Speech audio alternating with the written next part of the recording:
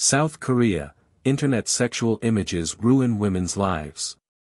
Seoul, widespread internet posting in South Korea of sexual images of women and girls without their consent is having a devastating impact on the victims, Human Rights Watch said today. The government should be doing more to prevent and respond to these digital sex crimes.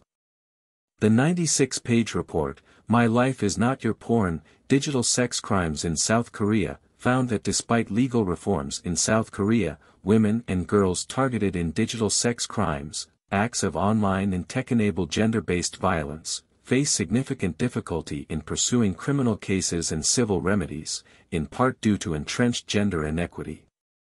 Digital sex crimes are crimes involving digital images, almost always of women and girls, that are captured without the victim's consent, shared non-consensually, or sometimes manipulated or faked. Officials in the criminal legal system, most of whom are men, often seem to simply not understand, or not accept, that these are very serious crimes, said Heather Barr, interim co-director of women's rights at Human Rights Watch and author of the report. Anyone who has ever viewed one of these non-consensual images could have taken a screenshot and can share that screenshot anytime, on any website, from which it may spread uncontrollably.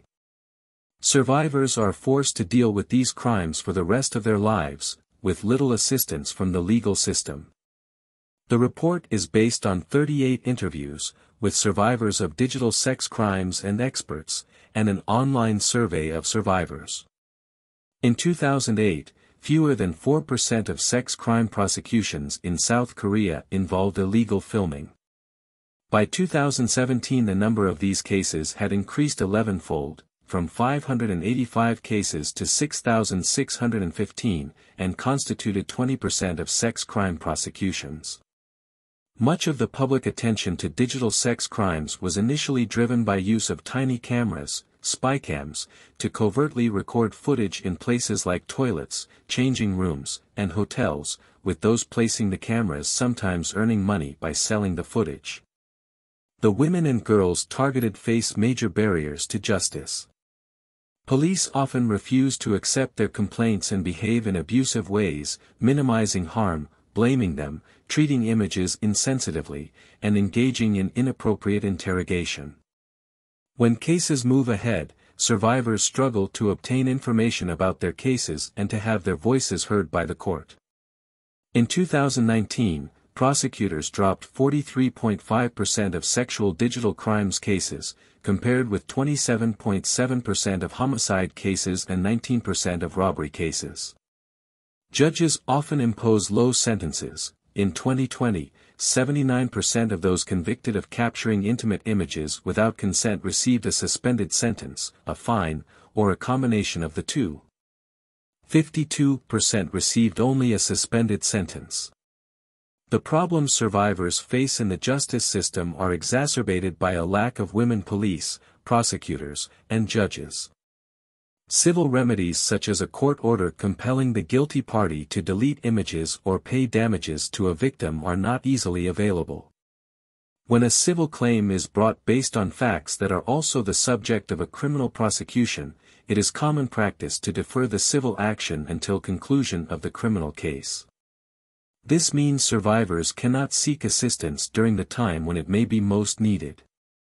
Survivors are typically too exhausted and traumatized by the end of a criminal trial, and sometimes multiple appeals, over the course of several years, to initiate a new proceeding in civil court, even if the criminal case has established facts that would support such a case.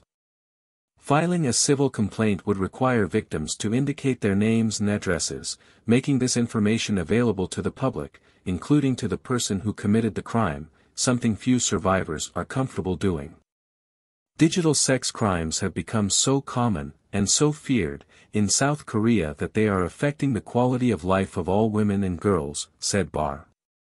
Women and girls told us they avoided using public toilets and felt anxious about hidden cameras in public and even in their homes. An alarming number of survivors of digital sex crimes said they had considered suicide. South Korea's government and National Assembly have taken some important steps in recent years to reform the law and provide services to people experiencing digital sex crimes, largely in response to mass protests by activists in 2018. But these measures are still inadequate, in part because they have failed to grapple with deep forms of gender inequity that fuel and normalize digital sex crimes.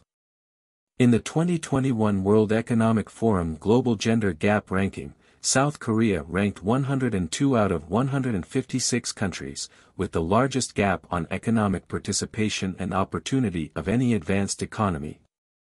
South Korean women do four times as much unpaid work as men and face a 32.5% gender pay gap.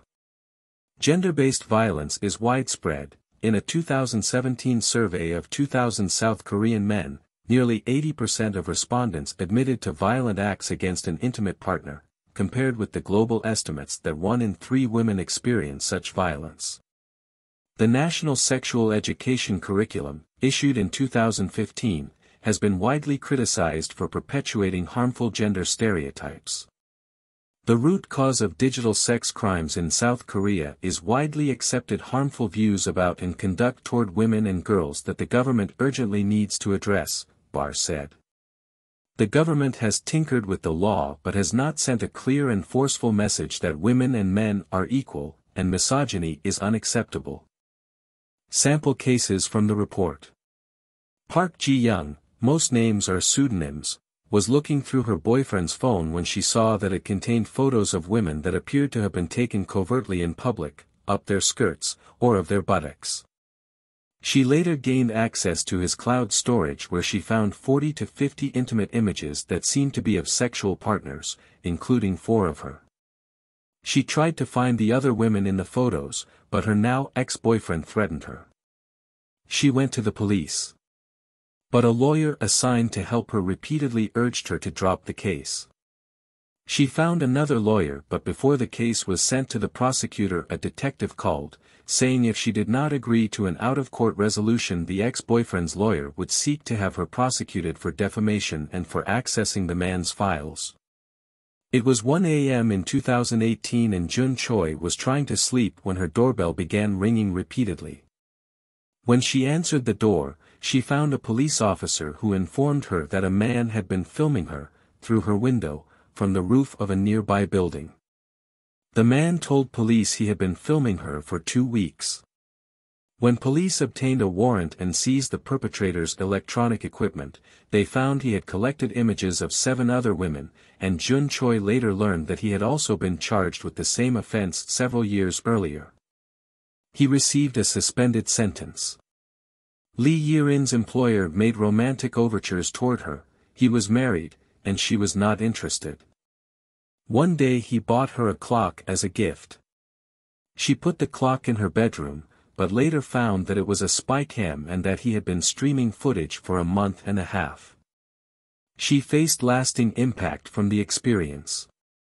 What happened took place in my own room, so sometimes, in regular life, in my own room, I feel terrified without reason. A year later, she continued to take medication prescribed for depression and anxiety. Son Ji-won was 16 when she met someone online through a website that connects people randomly to chat.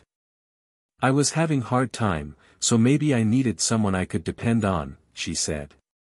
He demanded sexual images. She sent them, and then regretted it and tried to delete them. He became abusive. She met other men on Telegram, who pressured her into sending intimate photos, promising to delete them immediately, only for her to later find one of the photos posted in a chat group.